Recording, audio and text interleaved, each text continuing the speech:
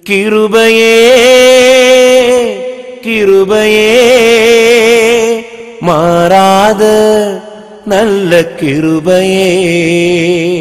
உங்க கிருபைதான் என்னை தாங்குகின்றது.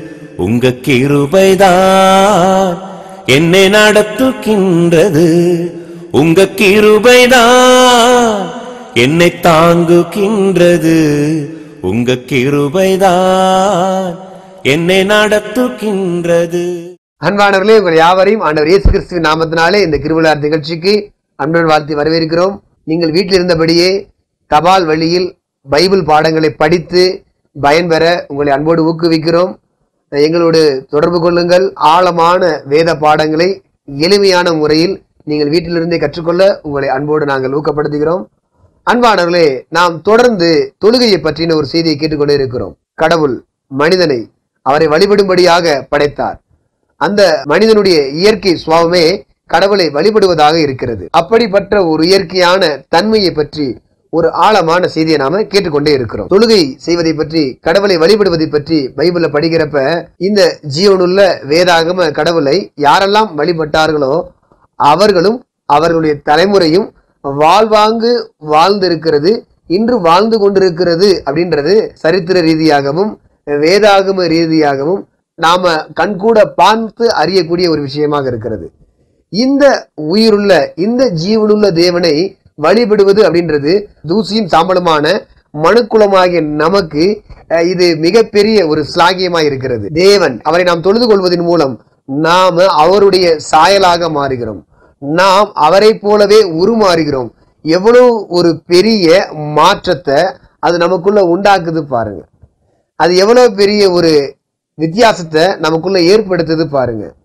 தொழுகை என்பது நாம நம்மளை திருப்திப்படுத்துறதுக்காக நாம நம்மளை சந்தோஷப்படுத்துறதுக்காக நாம நமக்குள்ளே சமாதானம் அடைவதற்காக செய்கின்ற ஒன்றல்ல. நாம நம்மை படைத்தவரை நமக்காக பலியான நமது ஆண்டவர் இயேசுவை நமக்குள்ளே வாசம் பண்ணுகிற ஆவியானவரை சந்தோஷப்படுத்தும்படியாக எல்லாவற்றையும் சிருஷித்த வல்லமையுள்ள தேவனை மகிமைப்படுத்தும்படியாக இயேசு கிறிஸ்துவின் மூலமாக பர்ஸ்து ஆவிக்குள்ளாக நாம் அவரை உயர்த்தி பிடிக்கும்படியாக செய்கின்ற ஒரு மகா நேர்த்தியான ஒரு உன்னதமான ஒரு செயல்தான் தொழுகை. இதை பற்றி இந்த நாளிலும் நாம் ஆழமாக அறிந்து கொள்வோம். இந்த நாளில் நம்முடைய செய்தியாளர் கிருவல்ல வார்த்தை பத்திரிகையின் ஆசிரியரும் ஜேசி ஸ்கூல் ஆஃப் ஆஞ்சலத்தின் இயக்குனருமான போதகர் பிலமோன் ராஜா அவர். பிரியமானவர்களே ஆண்டவராய் இயேசு கிறிஸ்துவின் நாமத்திலே உங்களை வாழ்த்தி இந்த கிருபில வார்த்தை நிகழ்ச்சிக்கு வரவேற்பதிலே நான் மகிழ்ச்சி அடைகின்றேன். அருமையானவர்களே தொழுகை என்றால் என்ன? ஆராதனை அல்லது தொழுகை என்பது ஏன்? அதற்கும் நமக்கும் உள்ள ஈடுபாடு என்ன? என்று கடந்த பாடத்திலே நாம் படித்தோம். அதை பற்றிய தொடர் பாடம் படிக்க நம்மை ஆயத்தப்படுத்துவோம்.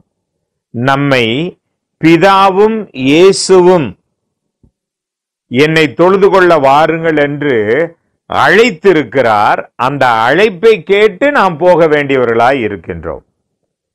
தொழுகைக்கு போலாமா வேணாமா ஆராதனைக்கு போலாமா வேணாமான்னு நாம் முடிவெடுக்கிற சுதந்திரம் நமக்கு இல்லை சபை கூடி வருதலை ஏனென்றால் இதை செய்யுங்கள் என்ற கட்டளை இயேசுவும் என்னை தொழுது கொள்ளுங்கள் என்று பிதாவும் நம்மை அழைத்திருக்கிறார். அதை நம்ம மனசுல ஆழமாக வைத்து கொள்ள வேண்டும். அடுத்து கடந்த பாடத்திலே பார்த்தது தொழுகை அல்லது ஆராதனை. தொழுகை என்பது சிறந்த வார்த்தை.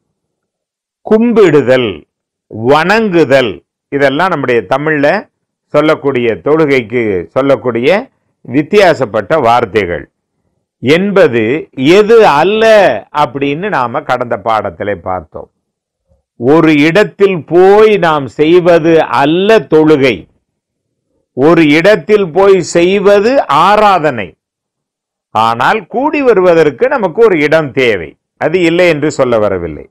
ஆனால் தொழுகை என்பது கூடி வருகிறவர்கள் சேர்ந்து செய்வதற்கு பெயர் தொழுகை. ஒரு இடத்தில் கூடி வந்து செய்தது ஆராதனை. ஏனென்றால் அங்கே ஒரு மையப்பொருளாக ஒரு பலிபீடமோ ஏதோ ஒன்று இருக்கும்.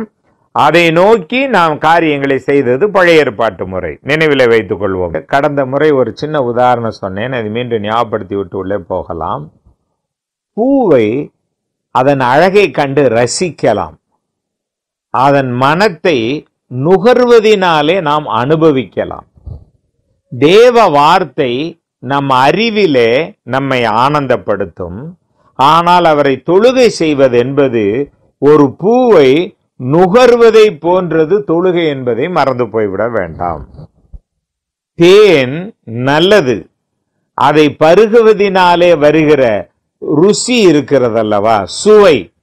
அதை போன்றது தொழுகை.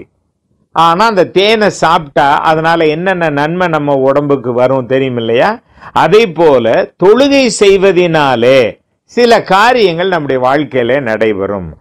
ஆனபடியினாலே தான் தேவன் நம்மை தொழுகை செய்ய இயேசு கிறிஸ்துவின் நாமத்தினாலே நம்மை அழைத்திருக்கிறார் என்பதை மறந்து போய்விட வேண்டாம். ஒருவர் பிதாவை தொழுகை செய்யும் நிலை என்பது ஒரு உறவினுடைய உணர்வாக இருக்கிறது.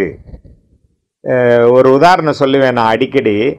ஞானசானம் எடுக்கிற நூற்றில் ஒரு அறுபது சதவீதத்துக்கு அப்பாற்பட்டு மக்கள் காய்ந்த பாவியா தண்ணிக்குள்ளே போய் நனைஞ்ச பாவியா வெளியே வந்துருக்காங்க.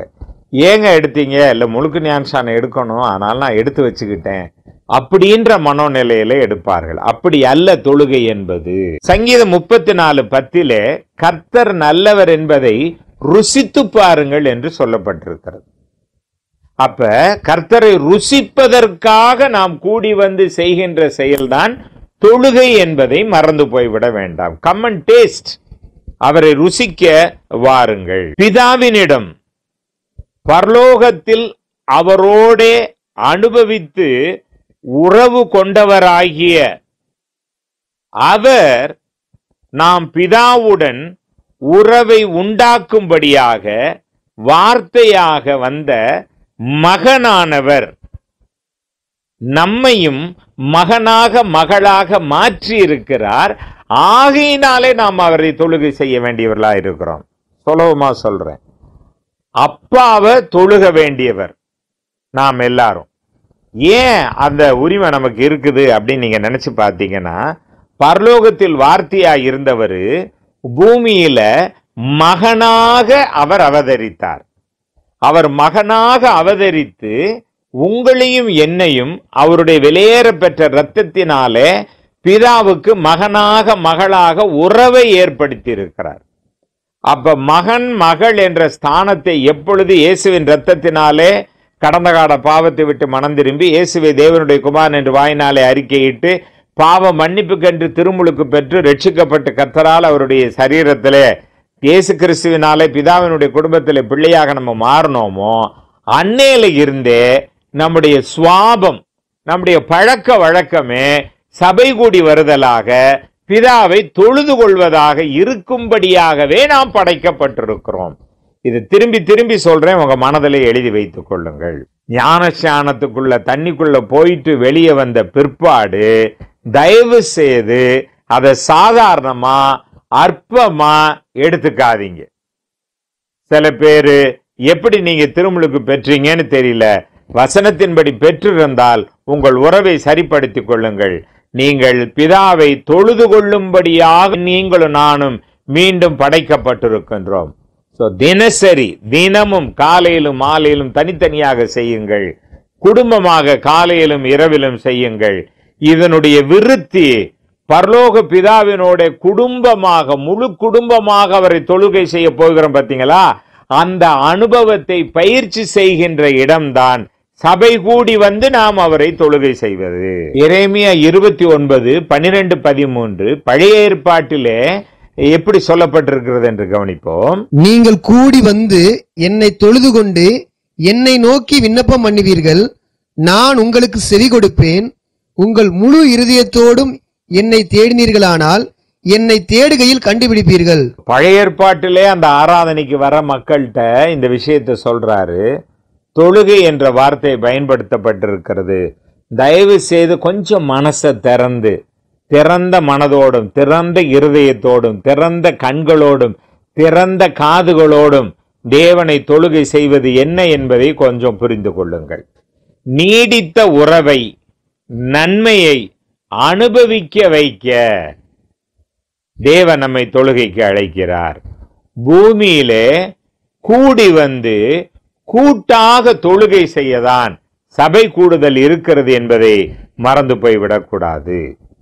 தெய்வீக ஆதரவு என்ற உணர்வின் கீழ் நன்றி பெருக்கத்தோடு நன்றி பெருக்கோடு இருதயங்களின் கூட்டுதான் சபை கூடுதல் ஆகும் தனித்தனியா வீட்டில் தேவனுக்கு நன்றி சொல்லி பாடி துதித்து வசனத்தை கேட்குறோம் குடும்பமா இதை செய்கிறோம்.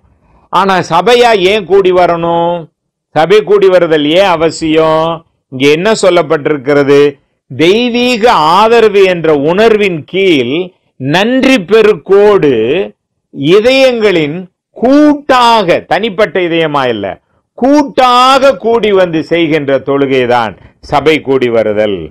நூத்தி பதினாறாம் சங்கீதம் பனிரெண்டு பதிமூன்றாவது வசனங்களை குறித்துக் கொள்ளலாம். கர்த்தர் எனக்கு செய்த எல்லா உபகாரங்களுக்காகவும் அவருக்கு எண்ணத்தை செலுத்துவேன்? ரட்சிப்பின் பாத்திரத்தை எடுத்துக்கொண்டு கர்த்தருடைய நாமத்தை தொழுது கொள்ளுவேன். மறந்து போய்விட வேண்டாம். பிதாவின் சமூகத்தில் தன் ஆத்துமாவை இலைப்பாற்றி இருக்கும் அந்த ஆத்துமாவை அது தன்னை ஊற்றிவிடும்படியாக வருவதுதான் தொழுகை. நாம ஏதோ அவர்கிட்ட கேட்க வரல. நமக்காக ஜெபம் பண்ண வரல. சோறுத்தா வேலைத்தா படிப்புத்தா சுகந்தா அதுக்காக வருவதல்ல. அது வாரத்தில் மீதி நாளில் வரலாம். ஒரு ஜெப நாள் வைங்க சபையில். ஒரு வேத ஆராய்ச்சி வகுப்பு வைங்க சபையில். மீதி ஒருவருக்கா ஒருவர் ஜெபிக்கிறன வைங்க. அதெல்லாம் இன்னொரு இன்னொரு நாளில் வைத்துக் கொள்ளலாம். அது சபை கூடி வரும் பொழுது செய்யணும். ஆனால் வாரத்தின் முதல் நாளிலே கூடி வருவது என்பது பிரியமானவர்களே ரொம்ப ஒரு முக்கியமான விஷயம் என்னவென்றால் எனக்கு பாவத்திலிருந்து விடுதலை கொடுத்து இலைப்பாற்றி இருக்கும் என் ஆத்துமாவை அவருடைய சமூகத்திலே நான் ஊற்றிவிடும்படியாக வருவதுதான். இதை மறந்து போய்விட வேண்டாம். சில நேரத்தில் இப்படி வழக்காடுகின்ற வேலைகள் எல்லாம் நடந்து கொண்டிருக்கிறது. அது வெள்ளிக்கிழமையா இருந்துட்டு போகுது சனிக்கிழமையா இருந்துட்டு போகுது. ஓய்வு நாள்னு சொல்லியிருக்கிறாரு ஏழாம் நாள்னு சொல்லியிருக்கிறாரு. நான் அந்த வாக்குவாதத்துக்கெல்லாம் வரல. நீ கிறிஸ்தவனா? பைபிளை ரெண்டாக பிரிச்சுக்க. பைபிளே பிரிஞ்சிருக்கு. ஒன்று பழைய ஏற்பாடு ரெண்டாவது புதிய ஏற்பாடு. பழைய ஏற்பாடு மோசையின் மூலமாக சில விஷயங்களை நமக்கு வாங்கி கொடுத்திருக்கிறது. புதிய ஏற்பாடு இயேசு கிறிஸ்துவின் மூலமாய் சில காரியங்களை வாங்கி கொடுத்துருக்குது. உங்க தேர்வு என்னன்னு முதல்ல முடிவெடுத்துக்கோங்க. பழைய ஏற்பாட்டின்படி நான் தேவனை தொழுகை செய்ய விரும்புகிறேன் அப்படின்னா ஒரு ஆடோ மாடோ வாங்கிட்டு எருசலேமில் போய் பலி கொடுத்து அவரை தொழுது கொள்ளுங்கள். இன்னைக்கு எருசலேம் போகவும் முடியாது அங்கே தேவாலயமும் இல்லை நம்மால் பலி கொடுக்கவும் முடியாது. அதை வைத்துக் கொள்ளுங்க. இப்போ பெரிய ஆர்குமெண்ட்டுக்குள்ளெல்லாம் நான் நுழையல. எளிமையாய் புரிந்து கொள்ள. ஏனென்றால் சூழ்நிலையில் வாரத்தில் எந்த நாளில் கூடி வந்தா என்ன? அப்படின்ற மாதிரி மனசு போக ஆரம்பிக்கிறதுனால இதை நான் நினைவுபடுத்துகிறேன். சரி இப்போ இயேசு தான் எனக்கு எல்லாம். அவருடைய ரத்தம் தான் என்னை மீட்டிருக்குது. அவர் நித்திய பலியாக மாறிவிட்டார். இன்னொரு பலி இனிமேல் தேவையில்லை. அப்படின்னா அவருடைய உபதேசத்தை கூடயே இருந்து கேட்ட மூன்றரை வருஷம் கேட்டவங்க அவங்க போய் இயேசு சொன்னதெல்லாம் சொல்லி அதனால இயேசு எனக்காக மறித்தார்னு கேட்டு மனம் திரும்பி அவர்கள் பாவங்கள் கழுவப்பட்டதினாலே ஒரு மூவாயிரம் பேருடனே நன்றி பெருக்குடனே இதயத்தை ஊற்றும்படியாக தெய்வீக உறவை அனுபவிக்கும்படியாக தொழுகை செய்தார்கள் முதல் முதலிலே. அவர்கள் தொழுகை செய்தது வாரத்தின் முதல் நாளிலே. நான் ஞாயிற்றுக்கிழமை சர்ச்சை நடத்த வாங்கன்னு கூப்பிடல.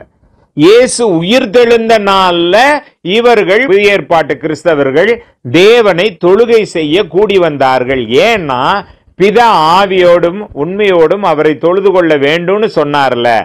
அதுக்கு கீழ்ப்படிந்து வந்த கூட்டம் இது.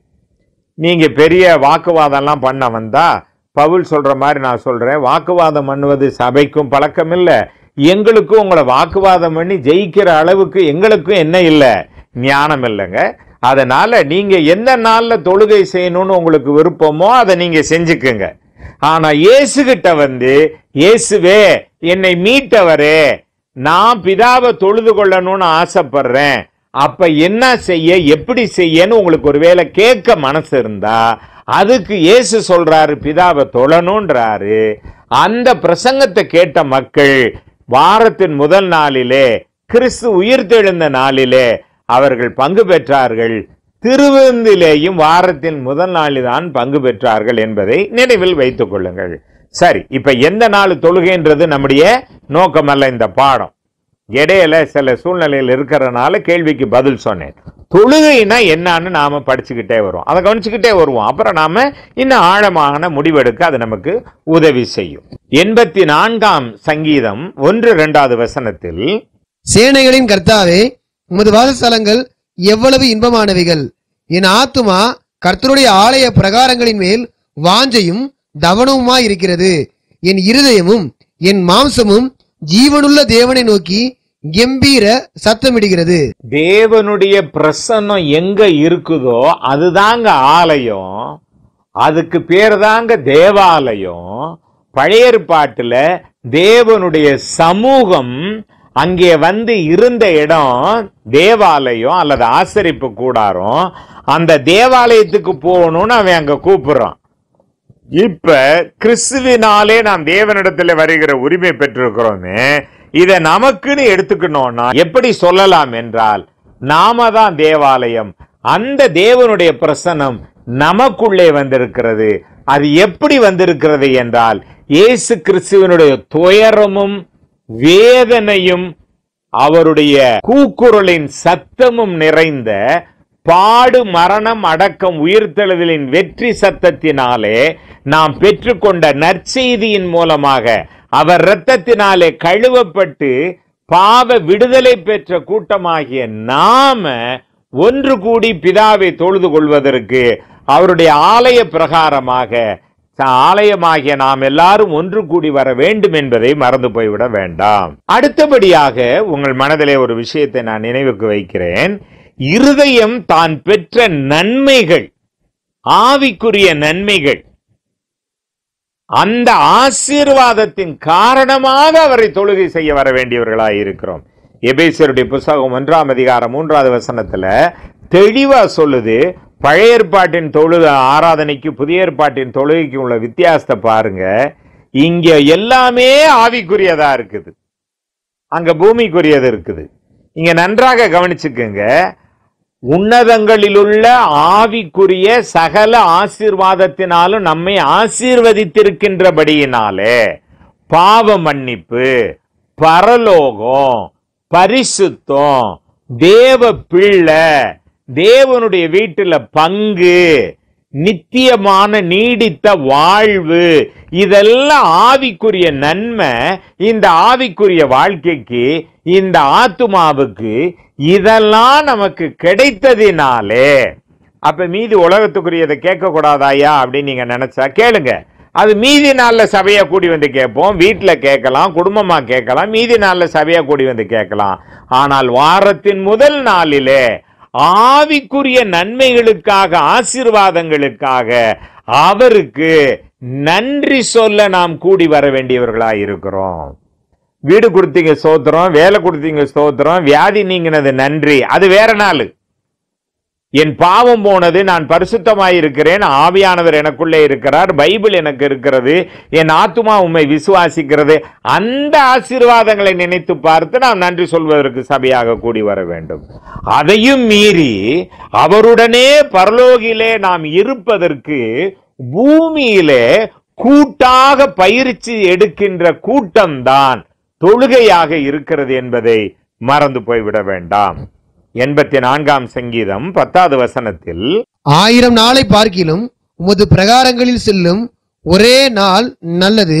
ஆகாமிய கூடாரங்களில் வாசமாயிருப்பதை பார்க்கிலும் என் தேவனுடைய ஆலயத்தின் வாசற்படியில் காத்திருப்பதையே தெரிந்து கொள்வேன். முக்கியமான காரியத்தை நன்றாக கவனித்து பாருங்கள். பரமபிதா எனக்கு பிதாவாக நான் அவரை பெற இயேசு அவரின் தியாகத்தின் மூலம் எனக்கு இழந்த உறவு இயேசுவினாலே மீட்டு கொடுக்கப்பட்டதால் இந்த உறவு பரலோகம் வரை தொடரப் போகிறது என்ற விசுவாசத்தை அறிக்கையிடுவதற்காக நாம் வாரத்தின் முதல் நாளிலே கூடி வருகிறோம். அந்த அறிக்கைய உறுதியா சொல்றோம். சத்தியமா சொல்றோம். எப்படி சத்தியமா சொல்றோம்னா இயேசுவினுடைய ரத்தத்துல கை வைக்கிறப்ப இயேசுவினுடைய உடம்ப தொடுறப்ப. ஞாபகம் இருக்குதா? பழைய ஏற்பாட்டுல உறுதி பண்ணும் பொழுது அந்த உடல் மேல அந்த பொருள் மேல கையை வச்சு தங்கள் உறுதியை கொடுப்பார்கள்.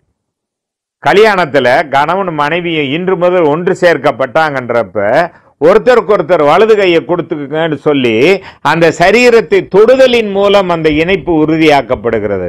அதை போலதான் வாரத்தின் முதல் நாளிலே கிறிஸ்துவனுடைய சரீரத்தை தொடுவதின் மூலமாக இயேசுவின் இரத்தத்தை நான் தொடுவதின் மூலமாக இந்த பயிற்சி எனக்கு நித்திய உறவை ஏற்படுத்தி கொடுத்திருக்கிறது என்பதை அறிக்கை செய்வதற்காக நாம் தொழுகை செய்ய கூடி வர வேண்டியவர்களாய் இருக்கின்றோம்.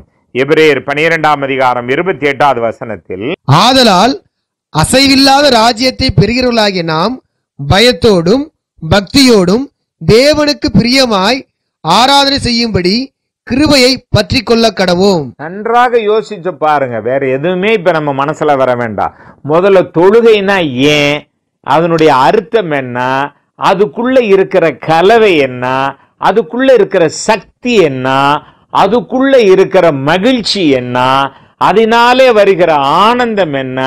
அது எனக்கு கூட்டாக எதை கொடுக்க போகிறது என்பதை நாம் தொடர் பாடமாக படித்துக் கொண்டிருக்கிறோம். இதை புரிஞ்சுக்கிட்டா மீதி எல்லா கேள்விக்கும் நமக்கு பதில் கிடைக்கும். இயேசுவை தேவகுமாரனாகவும் மீட்பராகவும் திருவிருந்தில் திருப்பாடலில் திரு தொழுகையிலே திரு விண்ணப்பத்திலே ஏன் திரு திருன்ற வார்த்தை எல்லாத்துக்கும் சொல்றேன்னா இது எல்லாமே பரிசுத்தமான நிகழ்ச்சி. திரு என்ற தமிழ் வார்த்தையினுடைய அர்த்தம் பரிசுத்தம். நன்றாக புரிந்து கொள்ளுங்கள். மறந்து போய்விட வேண்டாம். அப்ப என்னுடைய ஜபத்துல எல்லாத்திலையுமேயே நான் ஒரு பரிசுத்தமான அறிக்கை இடுகிறேன். ஐ கன்ஃபஸ் ஹோலி கன்ஃபஷன் என்ன அப்படின்னா நான் பிதாவின் பிள்ளை என்பதை நான் இன்னும் பிதாவின் பிள்ளையா இருக்கிறேன். எனக்குள்ள நித்திய ஜீவன் வந்திருக்கிறது. அது நீடித்திருக்கிறது என் நீடிக்க போகிறது என்று நான் விசுவாசிக்கிறேன். அதை வெளிப்படுத்த தான் இப்ப கூட்டு தொழுகைக்கு வந்திருக்கிறேன். அதில் திருவிருந்திலே பங்கு பெறும்படியாக வந்திருக்கிறேன் என்பதை அடையாளப்படுத்துவது தொழுகையின் முக்கிய பங்காக இருக்கிறது. பரிசுத்தாவி என்னுள்ளே வாசம் பண்ணி அந்த தகப்பன் மற்றும் மீட்பர் இயேசு என் மீட்பர் என்ற உறவை வசனத்தின் மூலம் உறுதி செய்து கொண்டே இருக்கின்றார் பரிசுத்தாவியானவர் எனக்கு. ஏன்னா நீங்கள் ஒவ்வொருவரும் மனந்திரும்பி பாவ மன்னிப்புக்கென்று இயேசு கிறிஸ்துவின் பெயராலே திருமுழுக்கு பெற்றுக்கொள்ளுங்கள் அப்பொழுது பரிசுத்தாவியையே வரமாக பெறுவீர்கள்.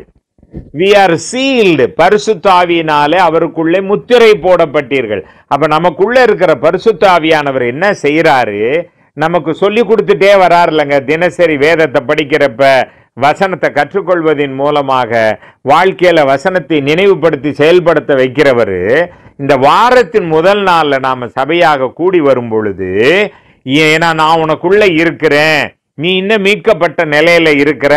அதை வந்து இந்த கூட்டத்தில் பிதாவினிடத்தில் சொல்லுன்னு என்னை வழிநடத்தும்படியாக வசனத்தின் மூலமாய் வழிநடத்தும்படியாக ஆவியானவர் எனக்குள்ளே இருந்து செயல்படுகிறார் என்பதை நான் அடையாளப்படுத்துகிற ஒரு விஷயமாக இருக்கிறது. இதை அறிந்த என் ஆத்துமா பரலோகத்தை நோக்கி என்னை எழும்பச் செய்வது தொழுகையின் நோக்கமாயிருக்கும். ஆத்துமாவே நீ சாதாரணமா நினைக்காத. என் ஆத்துமாவே உம்முடைய ஆலய பிரகாரங்களில் நான் வந்து வாசம் பண்ணும்படி நான் ஏங்கினேன் அப்படின்னு சொன்னதை போல ஆத்துமாவே நான் பரலோகம் போகணுன்றது என்னுடைய ஏக்கம். அந்த ஏக்கம் இருக்குல்ல அது போக போறோம். அவர் என்னைய கூட்டிட்டு போவாரு. நான் தகுதியா இருக்கிறேன்னு இல்லை. அவர் தகுதிப்படுத்தினவர் என்னை கூட்டிட்டு போவாரு. நான் பரலோகம் போவேன்றத நான் அறிக்கையிடுகிற ஐக்கியத்தின் வெளிப்பாடுதான் சபையின் தொழுகை என்பதை மறந்து போய்விட வேண்டாம். தேவனுக்கு சித்தமானால் அடுத்த பாடத்திலே தொழுகையை பற்றி இன்னும் கொஞ்சம் ஆழமாக தெரிந்து கொள்ள நம்மை ஆயத்தப்படுத்துவோம். இதை குறிப்பெடுத்து கொள்ளுங்க.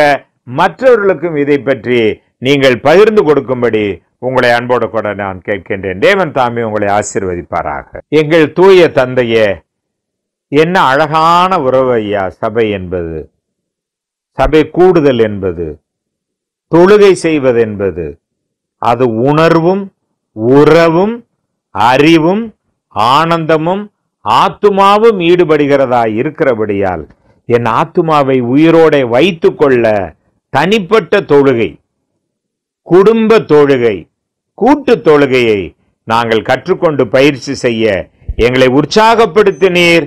இது வாரத்தின் முதல் நாளிலே நாங்கள் செய்ய வேண்டியது என்பதை கற்றுக்கொண்டோம். அப்படியே செயல்படுத்த பரிசுத்தாவியானவர் எங்களுக்கு வசனத்தை கொண்டு நினைவுபடுத்துவதினாலே அதற்கு கீழ்ப்படியே எங்களுக்கு பலன் தாரும். குற்றங்குறைகளை மன்னியும் நீதியிலும் பரிசுத்தத்திலும் வழி நடத்தும். இயேசு கிறிஸ்துவின் நாமத்தினாலே ஜெபிக்கிறோம். ஜீவனுள்ள நல்ல பிதாவே.